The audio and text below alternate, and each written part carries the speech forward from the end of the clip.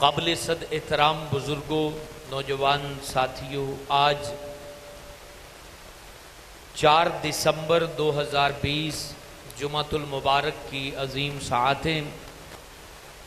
जाम मस्जिद सिद्दीक अकबर बूँगा हयात में हम सब हाजिर हैं। आज जुमा के इस बयान में हज़रत मूसा अलैहिस्सलात वस्सलाम की मुलाकात हज़रत खिज़र वस्सलाम के साथ हुई। उस मुलाकात में क्या गुफ्तगु हुई, क्या वाक़ात रूनुमा हुए, वो इन तबारक व आज जुमे में आप सुनेंगे। उसमें बहुत सारा इल्म है, बहुत सारी अजायब व गरायब बातें हैं। और अल्लाह तबारक व ताली का अपने बंदों पर जो इनाम होता है, उसकी रोशनी भी आपको आज के इस बयान से महसूस होगी, नज़र आएगी। और कुरान मजीद फुरकान हमीद ने किस तरह अपने पाक परवरदिगार अल्लाह रब्बुल के बरगुजीदा बंदों की फजीलत को किस तरह बयान किया है, वो भी हमें इन ताला सुनने को मिलेगा, सीखने को मिलेगा। और ये बात भी हमें समझने को मिलेगी कि तमाम इंसान वो बराबर नहीं होते, किसी को अल्लाह ने क्या कमाल बख्शा है, किसी को क्या कमाल बख्शा है। यानी कोई बंदा, कोई शख्स चार नमाजें पढ़ के अल्लाह के बरगुजीदा बंदों की बराबरी करने लग जाए तो ऐसी सोच दुरुस्त नहीं होती। अल्लाह वाले अल्लाह वाले होते हैं। और अल्लाह वालों की जो फजीलत है, जो बरकत है, जो इनकी तारीफ़ है, वो हमारी घड़ी हुई नहीं है, बल्कि कुरान ने उसको बयान किया है।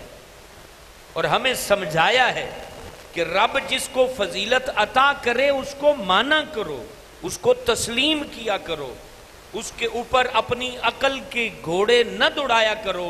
रब जिसको फजीलत अता करे तो उस फजीलत को मानना, ये अल्लाह ताला के करम को मानना है। अब ये हज़रत मूसा सलाम और हज़रत खिजर सलाम की आपके सामने मैं गुफ्तगु करने जा रहा हूँ। जो बरकत, जो फजीलत अल्लाह ने हज़रत खिजर सलाम को अता फरमाई उसका बयान ये सूरह काफ में अल्लाह ने किया है, मुझे बताइए। हज़रत खिजर सलात वसलाम के इमाम हज़रत मोहम्मद रसूलुल्लाह है। यानी हमारे प्यारे नबी हज़रत मोहम्मद रसूलुल्लाह सल्लल्लाहु अलैहि व वसल्लम जो हैं, वो तमाम नबियों के इमाम हैं, तमाम नबियों के इमाम हैं तो जब हुजूर जान आलम सल्लल्लाहु अलैहि व आलिहि वसल्लम सारे नबियों के इमाम हैं तो फिर उनकी फजीलत और शान और मर्तबे को कौन बयान कर सकता है? यह हज़रत खिजर को जो रब ने फजीलत अता फरमाई, उसका बयान आपके सामने मैं कर रहा हूँ, जिसको हज़रत मूसा सलाम की मुलाकात में अल्लाह ताला ने उसको वाज फरमाया। और फिर वो बजरिया वही हमारे प्यारे नबी पर वो सारी बातें नाजिल हुई और हम तक कुरान की रोशनी में पहुँची। सुनिए। हज़रत मूसा सलाम ने अल्लाह से कहा था, वो पूरी बात तो अब जहर सी बात है, एक बयान में गुफ्तगु नहीं हो सकती। ये अल्लाह से कहा था कि मुझे अपने उस बंदे से मिलवा जिसको तूने कश्फ का इल्म अता किया है। इल्म लादुन्नी अता किया है, अपनी बारगाह से इल्म के ख़जाने अता किए, मैं उससे मिलना चाहता हूँ। तो वो निशानी बताई गई, मिलने आ गए, वो बात फिर कभी बयान करेंगे। अब जब मुलाकात हुई तो वो इस हाल में मुलाकात हुई कि हज़रत खिजर सलाम सफ़ेद चादर लेके लेटे हुए थे। सफ़ेद चादर लेके वो लेटे हुए थे तो हज़रत मूसा सलाम आए तो उन्होंने सलाम किया। तो हज़रत खिजर फरमाने लगे, तुम्हारी कौम में कोई सलाम करने वाला भी है? तो हज़रत मूसा सलाम ने कहा, मैं मूसा हूँ। तो हज़रत खिजर ने पूछा, बनी इसराइल का मूसा? तो कहा, हाँ, मैं हज़रत मूसा हूँ सलाम अब हज़रत खिजर और हज़रत मूसा सलाम आमने सामने और हज़रत मूसा सलाम क्या कहते हैं? काल अलहू मूसा। हज़रत मूसा ने हज़रत खिजर से कहा। अब यहाँ एक बात जानते जाइए कि हज़रत खिजर जो है ना, वो भी नबी हैं कराम ने फरमाया, वो भी नबी हैं। ओलमा ने इन्हें वली लिखा है लेकिन इस पर इत्तिफाक है मुफसरीन कराम का कि हज़रत खिजर भी अल्लाह ताला के नबी हैं। इसलिए नबी नबी के पास आया है इल्म सीखने के लिए। अब हज़रत खिजर से मूसा सलाम ने क्या कहा? हल अत्ता का, क्या मैं आपके पास रह सकता हूँ? अला मानी इस शर्त पर कि आप मुझे इल्म सिखाएँ। मिम्मा उल्लिम तरुशदा जो इल्म अल्लाह ताला ने खास तुम्हें सिखाया है। जो मालूम खास किस्म की अल्लाह ने आपको अता फरमाई है, वो अगर आप मुझे सिखाते हैं तो मैं आपके साथ रहना चाहता हूँ। क्या आपको मंजूर है? इससे पता चला, तमाम कमालात में सबसे बड़ा कमाल वो इल्म है। वो इल्म आप सीखने इस वक्त यहाँ बैठे हैं। और ये चूँकि हीरे हैं, जवाहरात हैं, और ये सब के मुकद्दर में नहीं हो। ये सब के मुकद्दर में आप कहते नहीं हो। अब जैसे आजकल आलू की फ़सल जो अगेती थी ना, वो नफा पा रहे हैं। छह हज़ार की वो बोरी बिक रही है। तो आप क्या बोलते हो? पछेती वालों को अल्लाह उनका भी रेट अच्छा लगा दे। तो हम ये बोलते हैं, मुकद्दर वाले थे रेट ले गए। ये बोलते हो ना, मुकद्दर वाले थे रेट ले गए। तो इल्म का नूर भी मुकद्दर वाले लिया करते हैं। सबके मुकद्दर में ये इल्म नहीं हुआ करता। कुरान का इल्म को मज़ाक है? रब का इल्म कोई मज़ाक है? हमारे यहाँ एक खतीब आए तो मैंने एक बात कही कि अल्हम्दुलिल्लाह, अब बूँगा हयात में इतने मौजूद पे तकरीरें हो चुकी हैं कि नवा मौलवी आवे तो एक बार उन्होंने मेहनत करनी पैसी बेथकी बोलना है। कि हमारी आवाम को अलहमदुल्ला वो वो बातें अब पता चल चुकी हैं।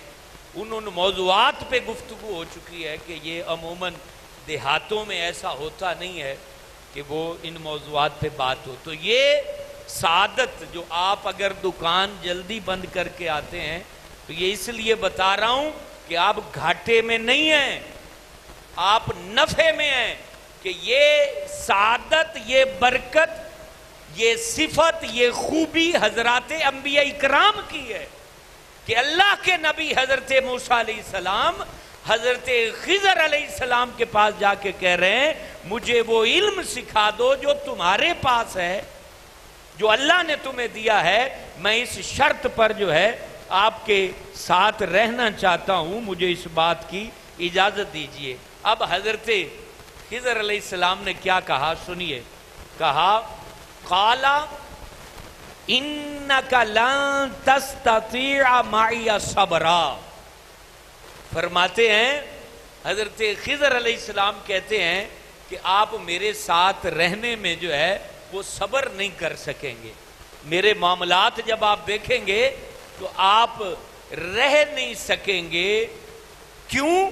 उसकी फिर वजह आगे खुद बयान की है, आगे वजह बयान की कि आप मेरे साथ क्यों नहीं रह सकते? कहा, बकैफा तस्बिरु अलामा लम तो हित भी खुबरा। कहते हैं कि जिस बात का इल्म आपके पास नहीं है जब मैं उसके खिलाफ करूँगा तो आपको सबर नहीं होगा। हज़रत मूसा सलाम से कहा जो मैं थोड़े थोड़े को जड़ा इल्म है, जाहिरी शरीयत का इल्म, मैं उनका खिलाफ करना है तो सबर नहीं आना। ये दोनों नबियों की बातें आपस में हो रही हैं और कुरान उसको बयान कर रहा है। अब काला हज़रत मूसा सलाम ने कहा, कुरान कितना प्यारे अंदाज में गुफ्तगु करता है।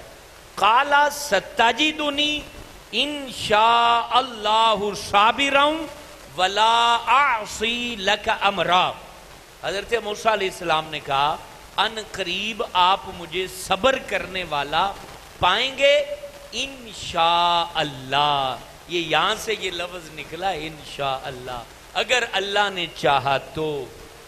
अब यहाँ हमें ये सीखने को बात मिलती है हज़रत मूसा सलाम रब के नबी होने के बावजूद कह रहे हैं कि इन मैं, मुझे आप सबर करने वाला पाएँगे। इससे पता चला, कोई केडा वड्डा नवाब होवे ओनू इनशाला कहना ज़रूरी है।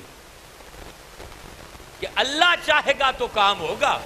हमारी ताकत, हमारा इल्म, हमारा रोब, हमारा दबदबा, ज़रूरी नहीं काम कर जाए। बड़े बड़ों की कुर्सियाँ हिल जाती हैं जब तकदीर का कलम फिरता है। बड़े बड़े नवाबों की कुर्सियाँ हिल जाती हैं। और फिर ना उनका हुक्म चलता है, ना बात चलती है, ना सिफारिश चलती है।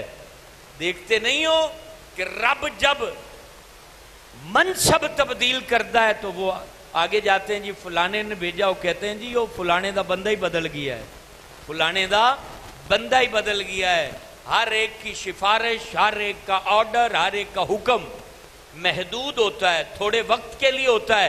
कब कौन बदल जाए, ये किसी को कुछ पता नहीं है, लेकिन रब का ऑर्डर हमेशा बाकी रहता है। रब का ऑर्डर रब का हुक्म, रब की पावर रब की ताकत, रब का इख्तियार, रब का रोब, रब की मलकियत, रब की शहनशाही, रब की बादशाही हमेशा बरकरार रहती है। तो इसीलिए जब भी कोई काम हो तो कहा करो इनशा अल्लाह क्या कहना चाहिए सारे बोलिए? इन अल्लाह बोलो। ताकि याद हो जाए, जब भी कोई काम करने का इरादा हो तो हलाल और जायज़ काम पर बोले इन अल्लाह अच्छा हमारे यहाँ मुसलमानों में यह भी है जेड़ा काम नहीं करना होते थे इंशाल्लाह बोलते ये यूरोप के एक सदर का मैं इंटरव्यू सुन रहा था। उसने इस पे मज़ाक बनाया मुसलमान लफ्ज इंशाला उसने कहा कि मुसलमान तब बोलते हैं जब काम ना करना हो। तो ये उस वक्त बोले जब आपने करना है। मकसद आपके पास कोई बंदा आया है ये आपको मसला भी समझा रहा हूँ। आप ने किसी बंदे के पैसे देने हैं, मिसाल के तौर पर, या किसी की कोई चीज़ ली हुई है, वापस करनी है, वो आपके पास आया कि मियाँ, वो मेरी चीज़ दे दो। अब आप उसे कहते हो कि मैं इन ताला नौ तारीख को दे दूँगा। उस वक्त आपके दिल में है कि मैं टरका रहा हूँ, नहीं दूँगा तो ये गुनाह का काम है। ये गुनाह का काम है। कि दिल में अगर है ना कि मैं दूँगा, फिर असबाब नहीं बने। हालात बदल गए तो आपके पास पैसा नहीं आया, मामलात ठीक नहीं रहे। आप अगली डेट दे दें। लेकिन उस वक्त जब वादा कर रहे हैं, उससे बात कर रहे हैं, उसको कह रहे हैं, मकसद एक कारीगर है, उसने सामान देना है किसी को तैयार करके। और वो आए हैं भी कब दोगे? वो कहता है कि पाँच तारीख को दूँगा अब ये इंशाला उस वक्त कहे कि देने का इरादा हो। अब इन पता है भी मैं देना ही को नहीं तो ना लाख देता इनशाला जी। तो ये लोगों ने गलत बना ली रूटीन। इनशाला का लफ्ज, अगर अल्लाह चाहेगा, उस वक्त बोलो जब आपके मन में पूरी तसल्ली हो कि मैं अपनी तरफ़ से भरपूर कोशिश करूँगा कि इस तक ये चीज़ पहुँच जाए, इसकी चीज़ इस तक पहुँच जाए। अब हमारे यहां कितने लोग हैं फिर कहते बरकत नहीं ਮਿਸਤਰੀਆਂ ਕੋਲ ਜਾਓ ਤੇ ਉਹਨਾਂ 20 20 ਬੰਦਿਆਂ ਨੂੰ ਇਨਸ਼ਾਅੱਲਾ ਆ ਕੇ ਟਰਕਾਇਆ ਹੁੰਦਾ ਹੈ ਆਪ ਕਾਰੀਗਰ ਕੇ ਪਾਸ ਚਲੇ ਜਾਓ तो उन्होंने 20 ਆਰਡਰ ਲੈ ਹੁੰਦੇ ਨੇ ਤੇ ਸਾਰਿਆਂ ਨੂੰ ਇਨਸ਼ਾਅੱਲਾ ਆਕਾ ਹੁੰਦਾ ਤੇ 5 तरीक ਦਾ ਹੀ ਆਕਾ ਹੁੰਦਾ जिसके पास चले जाओ अब एक बंदे से कपड़ा लिया कपड़ा गलत निकला अब वो उसको कहेगा इनशाला हफ्ते को नया आ जाएगा उन्हें पता है कि मैं तो जाना ही नहीं हफ्ते में तो फिर नया आ कहां से जाएगा तो जब कोई बंदा झूठ बोल के और झूठ में इंशाला कह के जो भी शख्स अब तकरीर करने वाला बंदा, अब वो कह दे कि जी आपके पास मैं इंशाल्लाह आठ बजे पहुंचूँगा, आपके पास दस बजे पहुंचूँगा। जैसे कल एक जगह तक, तकरीर है, आज जुमे की तो मुझे एक साहब ने कहा कि हमें भी टाइम दे दो तो मैंने कहा, भाई मैं नहीं पहुँच सकूँगा। आप भी बैठे रहोगे, वो भी बैठे रहेंगे तो मैं आपको झूठ क्यों बोलूँ? आप कोई और तारीख बयान की रख अब कोई मौलवी ये कहे कि आपके पास नौ बजे पहुंचूँगा, दूसरी साइड पे आप वो तीस किलोमीटर दूर है और वहाँ कहे कि मैं साढ़े नौ पहुंचूँगा तो कहाँ से पहुंचेगा? एक तकरीर करके वहाँ कैसे उतने टाइम में पहुंचूँगा? कोई भी शोबे वाला बंदा है, वो झूठ में इंशाला की अमेजिश करेगा तो उसकी खैर बरकत नहीं रहेगी। और सच के साथ इंशाला बोलें तो रब आपकी मदद करता चला जाएगा। रब मदद करेगा। आप खुद सोचोगे कि मेरे तो दो हाथ हैं, काम ज़्यादा हो गए, क्योंकि आपके मन में सच्चाई थी। मन में सच्चाई थी और आप झूठ नहीं बोल रहे थे। रब ताला ने अपने फरिश्तों और जिन्नात के ज़रिए आपकी मदद कर दी और आपके काम पूरे हो गए। तो ये बात कही अल्लाह के नबी ने, कहा, वला आसी लक अमरा। और मैं आपके हुक्म की नाफरमानी नहीं करूँगा। ये हज़रत ईसा सलाम ने हज़रत खिजर से कहा। अब अगली बात सुनिए। काला फ़िनितबातनी फला तस कहा कि ठीक है, मेरे साथ तुम रहो।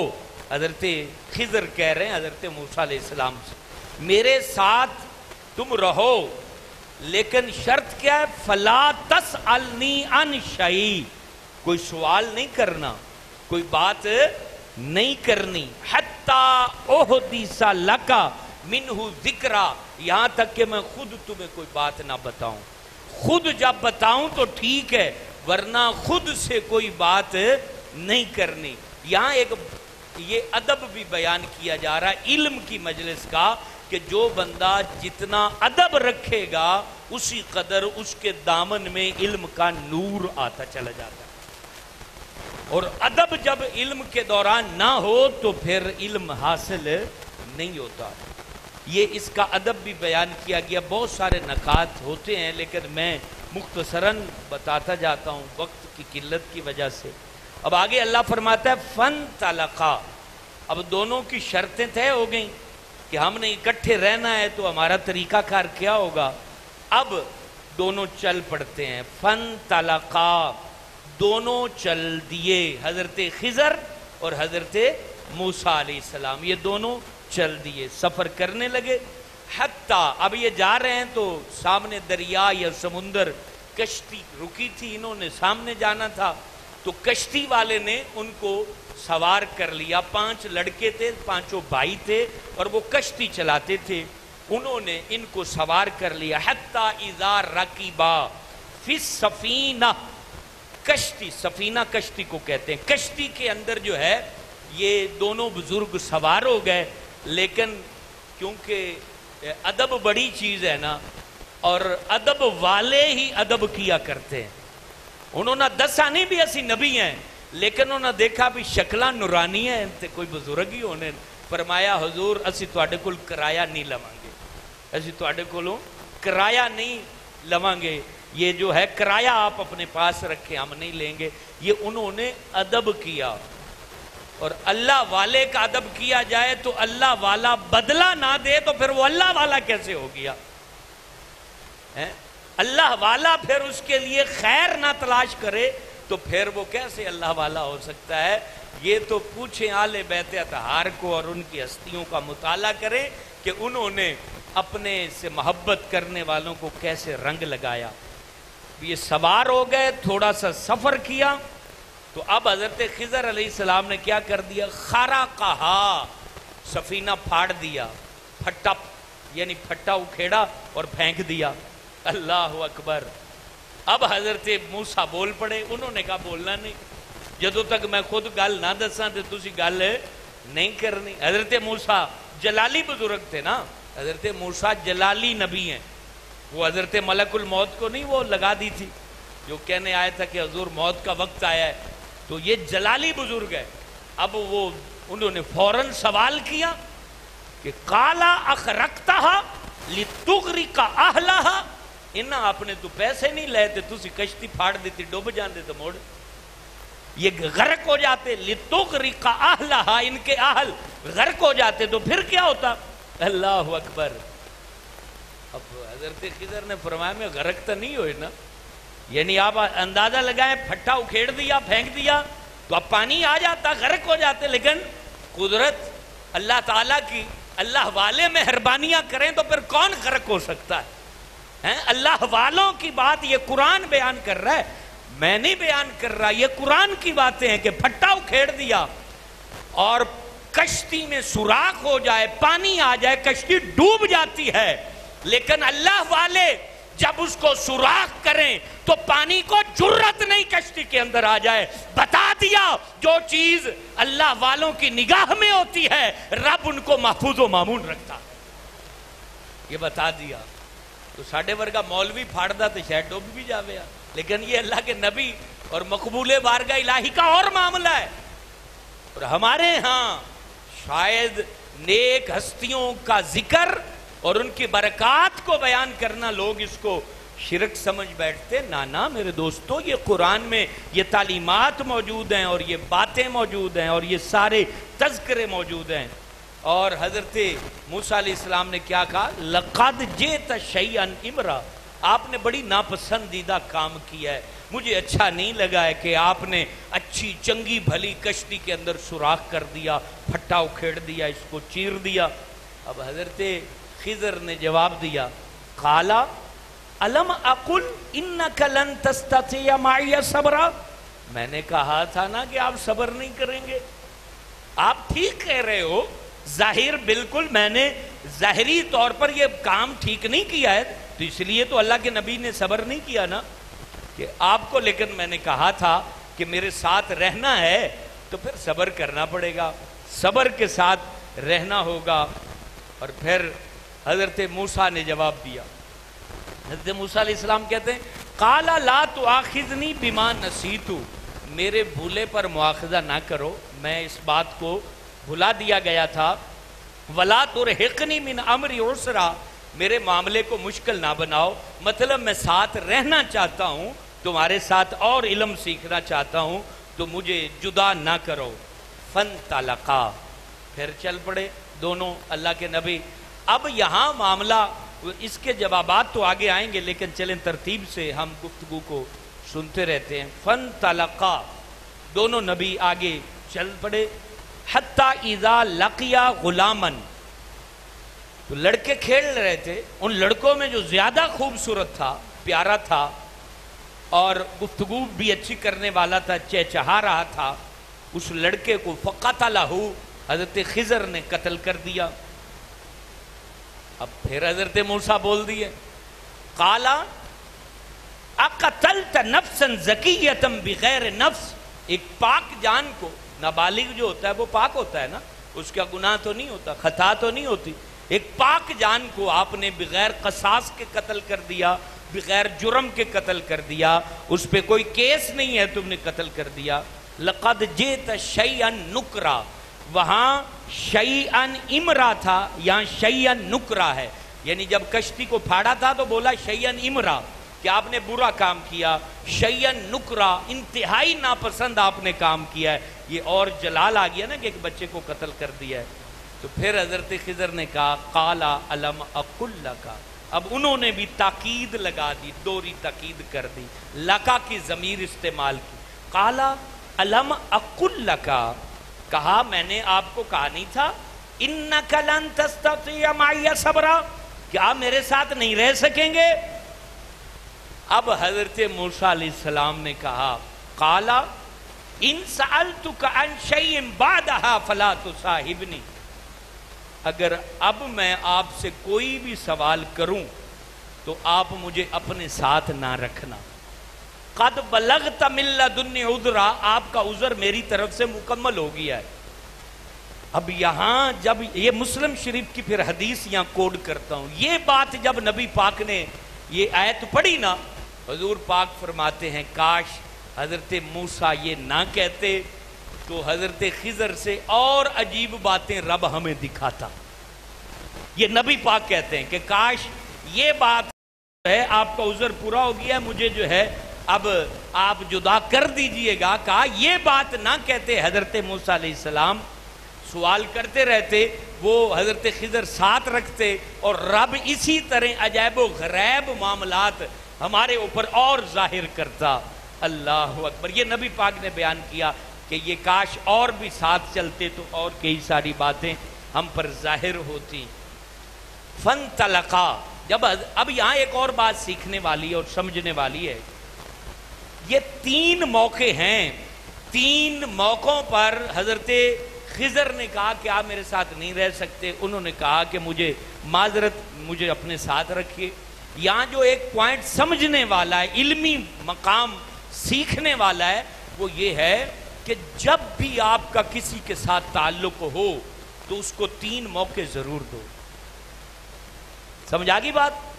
आपका रिश्ता कहीं हो, आपका तिजारत का मामला कहीं हो, आपकी दोस्ती कहीं हो तो उसको तीन मौके ज़रूर दो। और वो तीन मौके देने के बाद वो बाज ना आए तो उससे जुदा होने पर उसको वजह ज़रूर बयान करो कि तेरी इस हरकत से मैं तुमसे दूर हो रहा हूँ। जैसा कि हज़रत खिजर ने बयान किया है, ये सिखाया है हमें, मुआशरती पहलू सिखाया है कि किसी को दूर करना है तो फ़ौरन एक छोटी सी बात पे। अब आप देख लें, हमारे यहाँ नमक तेज होने पर भी तलाकें होती हैं। वो लड़ाई में बदलता है, गाली गलोच में बदलता है और फिर तलाक हो जाती है। ये क्या बात हुई इतना बड़ा रिश्ता और छोटी सी बात पर तलाक दे दी और साइड पे कर दिया। ये ऐसा नहीं करना चाहिए। मौका दीजिए। अगले को समझाइए। उसको अपने मन की बात बताइए। कई लोग अपने मन की बात नहीं बताते। अपनी बीवी को, अपने बेटे को, अपने भाई को और दिल में कुड़ते कुड़ते साइड पे हो जाते हैं। ये इस्लाम नहीं है। उसको बताएँ कि भाई आपकी ये बात मुझे पसंद नहीं है। उसको अच्छा कई लोग ऐसे हैं। ये मुआशरती पहलू बयान कर रहा हूँ। जो अपने नाराज़गी को, अपने बेटे, अपने भाई, अपने बाप, अपने चाचू, अपने खालू को डायरेक्ट नहीं बताते। किसी को कहते हैं कि उसको बताना। इससे वो बात, आपकी बात, आपके रिश्ते तक ठीक नहीं पहुंचेगी। मिक्स होके पहुंचेगी। आपके जज्बात को वो वह कोड नहीं कर सकेगा। आपके अंदाज एक्सप्रेशन जो है आपके मकसद एक बात होती है, बिल्कुल नरम मजाज से बताने वाले ने गुस्से में बता दिया। उसने वो जो बात वहाँ बताई, वो मर्च मसाला लगा के बता दी। तो ये चीज़ जो है, ये चीज़ आपके रिश्तों को, ताल्लुकात को कमज़ोर कर देती है। कोई भी बात है, आप उसको सामने बिठाएँ, बेटा है आपका आपका भाई है, आपका बाप है, आप अपना जो मिसकॉन्सेप्ट भी तो हो सकता है ना, आपकी सोच भी गलत हो सकती है। आप उसको बताएँ कि भाई ये बात जो है वो यूँ है और मुझे नहीं समझ में आ रही। वो आपको बताएगा कि हुजूर, ऐसा नहीं, ऐसा मामला है। तो ये कई बिज़नेस टूटे हैं। ये हमारे यहाँ ये बोला जाता है ना सीर सियापा, पंजाबी में बोलते हैं कि शराकतबाजी सियापा है। क्यों सियापा है? क्योंकि दो शराकत के साथ बिज़नेस करने वाले वो दोनों अपनी मन की जो बात है, वो एक दूसरे को बताते नहीं है। उसने तीसरे को बता दिया हाँ जी, ये सारा दे मोटरसाइकिल लेके भजा फिर है उन्हें अगले नु दस दिता कि ये बड़ा कामकार वाला बंदा है। उसने तीसरे को बता दिया, लो जी, चार पाँच जगह से बात आई, टूट के घर बैठ गए। ये बता रहा हूँ, ये इस्लाम और कुरान की रोशनी में बता रहा हूँ कि जिसके साथ चल पड़े हो मन को खुला करके चलो और उसके सामने बैठो, अपने मन की बात बताओ, उसके सामने रियलाइज़ करो अपनी फ़िक्र को और बताओ, वाजे करो उसकी भी बात और अपनी बात। कभी आप जो है ना वो टूट फूट का शिकार नहीं हो सकते। हम पहले जो है वो वलीउल्लाह बाबा फरीद के पोतरे बन जाते हैं और बाद में बदमाश बन जाते हैं। यानी जब हमने इकट्ठा चलना होता है, उस वक्त हमसे बड़ा बुज़ुर्ग कोई नहीं। और जब हमने टूटना होता है, उस वक्त हमसे बड़ा बदमाश कोई नहीं। तो उस वक्त जो है, हम अगर उसी तरह जिस तरह मिले थे, इसी तरह हर रोज वक्त गुजारे तो हमारा बिज़नेस टूट नहीं सकता, तिजारत खत्म नहीं हो सकती। ये ज्वाइंट इन्वेस्टमेंट हमारे यहाँ पंजाब में इसलिए राज नहीं होती, क्योंकि हम मन में मैल रखते हैं और वो डायरेक्ट बंदे को नहीं बताते, चौथे बंदे को बताते हैं, जिससे हमारे यहाँ मामलात ठहर जाते हैं, रुक जाते हैं और फिर बर्बाद होके टूट जाते हैं। अब हज़रत मूसा सलाम और हज़रत ईसा सलाम, वक्त चूँकि बहुत थोड़ा रह गया, फन तलका, फिर आगे चल पड़े। हत्ता इजा अतया निस्तत अमा कहते हैं कि एक गाँव में, एक पिंड में ये दोनों बुज़ुर्ग पहुँचे और उनसे खाना तलब किया। वक्त काफ़ी गुजर गया था तो मेहमान नवाजी के लिए जो है वो खाने का काफा अबाऊ तो पिंड वालों ने साफ़ इनकार कर दिया। ये होने नलायक, जो मेहमान आ जाए तो उन्होंने मत वट पै जाता और ये बात हकीकत है। हजूर सलाम ने फरमाया, जिस बस्ती में मेहमान ना आए, उस बस्ती पर रहमत नाजिल नहीं होती। जिस बस्ती में, जिस घर में मेहमान आते रहे, उनका दस्तरखान कभी उजड़ता नहीं। फ़ाबाऊ उन्होंने मना किया, इनकार किया आई युदयफूहुमा कि उनकी मेहमान नवाजी करें। लेकिन वहाँ एक खातून ने, बहरहाल इनकी मेहमान नवाजी की। एक खातून ने, एक औरत ने, उसका ज़िक्र यहाँ नहीं है, तफसीरों में है कि उन्होंने इनकी मेहमान नवाजी की। फवजदा फीहा, उस गाँव में जिदार दीवार को कहते हैं। एक दीवार गिर रही थी जो झुकी हुई थी, इस तरह गिर रही थी कि करीब था कि गिर जाती। तो हज़रत खिजर सलाम ने युरीदू यन कद्दा करीब था कि दीवार टूट जाती। फ़ाकामा हु तो हज़रत खिजर ने यूँ हाथ लगाया, दीवार सीधी हो गई। यूँ हाथ लगाया, दीवार बिल्कुल अपनी जगह पर जो है, जैसे मिस्त्री उसको ठीक करते हैं, उस तरह ठीक हो गई। पता चला, अल्लाह वालों का हाथ लगाना और हमारे हाथ लगाने में बड़ा फ़र्क हुआ करता है। उनके हाथ लगाने, ये कुरान बयान कर रहा है, उनके हाथ लगाने में और हमारे हाथ लगाने में बड़ा फ़र्क हुआ करता है और ये कुरान बता रहा है, तुम्हारे हाथ में ये ताकत नहीं है कि गिरती दीवार को सहारा दो और ठीक कर दो। अल्लाह वाले के हाथ में ताकत ज़रूर है कि वो गिरती दीवार को सहारा दे तो ठीक कर दे। पता चला, हम लोग जो अल्लाह वालों की इज़्ज़त करते हैं, वो इस कुरान के पेश नज़र इज़्ज़त करते हैं। अदरवाइज़ हमारा भी दिमाग ख़राब नहीं है कि एक छः फुट के बंदे की हम इतनी रिस्पेक्ट करें कि उसके हाथ चूमने लग जाएँ और उसको सलाम करने लग जाएँ। ये कुरान की तालीमत है कि अल्लाह ने उनको ताकतें अता फरमाई है। काला अब हज़रत मूसा सलाम फिर कह दिए लव शेता लत्ता ही अजरा। आपने दीवार ठीक की है तो मजदूरी तो ले लेते। मजदूरी नहीं ली आपने, इन्होंने हमारी मेहमान नवाजी नहीं की। और आपने फ्री ऑफ़ कॉस्ट उनकी दीवार को ठीक कर दिया मजदूरी नहीं ली तो हज़रत खिजर ने कहा, काला, हाजा, फिराकू बैनी व बैनी का, अब जुदाई का टाइम आ गया है तो मेरे दरमियान। बेलिया होने, आखिरी मौका सी, वो ख़त्म हो गया। अब वो बात जो मैंने आपको पहले कही है कि किसी से जुदा हो तो उसको वजह ज़रूर बताओ, ताकि उसको ज़िंदगी में एहसास हो। लेकिन ये नबी पर हम उसको तशबी नहीं दे सकते, ये इससे जो बात इजाफी मसला समझने को मिलता है, वो बता रहा हूँ। कासा नबी का बिता वीली मालम तस्ता सबरा कि मैं आपको उस पर खबरदार करता हूँ, बताना चाहता हूँ कि जिन बातों पर आपने सब्र नहीं किया है, उसकी वजह क्या थी, मैंने ये मामलात क्यों किए थे, इसको इन ताला उन तमाम तावीलात को और अगली बात को अगले जुमे दूसरे पार्ट में इन दूसरे हिस्से में इसको बयान किया जाएगा।